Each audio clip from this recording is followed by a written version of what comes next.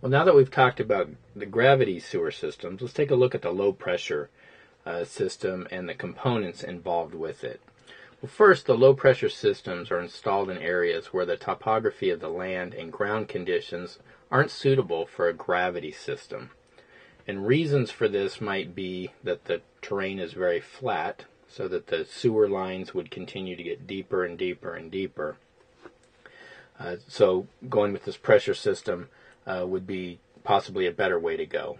Uh, another reason would be the ground's very rocky, so trenching's difficult.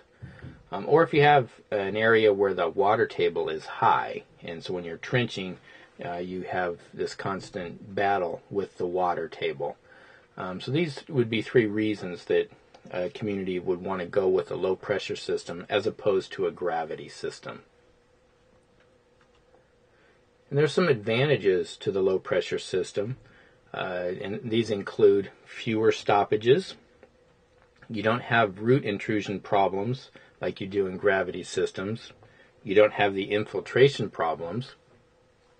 Uh, the trenches don't need to be as deep. And then you don't have a need for inverted siphons.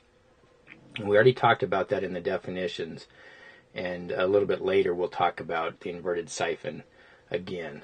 Uh, but these are the advantages that we see with the low pressure system. Now, whenever there's advantages, there's always got to be disadvantages. Well, here they are.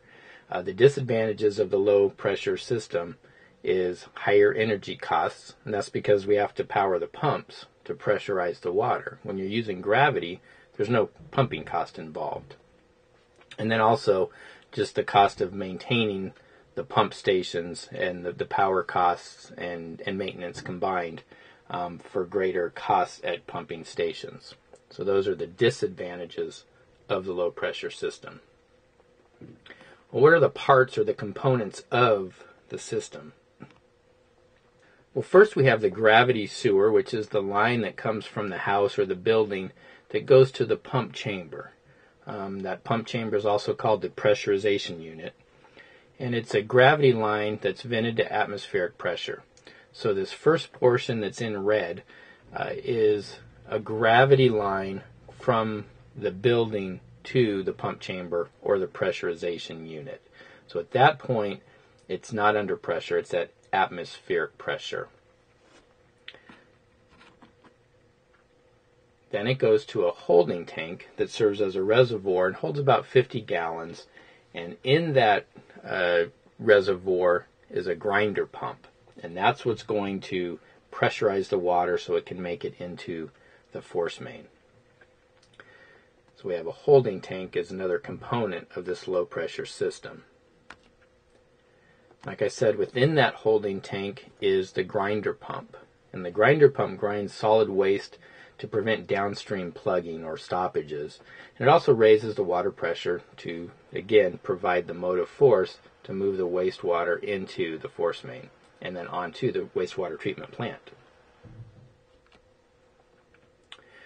And then there's the pressure main uh, that conveys wastewater to the treatment plant and they follow the contour of the land since they don't need to rely on gravity to move the water. So it's where a gravity system uh, goes as a, at a fairly constant slope, going deeper and deeper on flat land. Uh, this low pressure system can stay at the same depth because it's relying on pressure to move the water and not gravity. Um, also, within the pressure mains, they have access points uh, for pig insertion for line cleaning. So those are the main components of a low pressure system.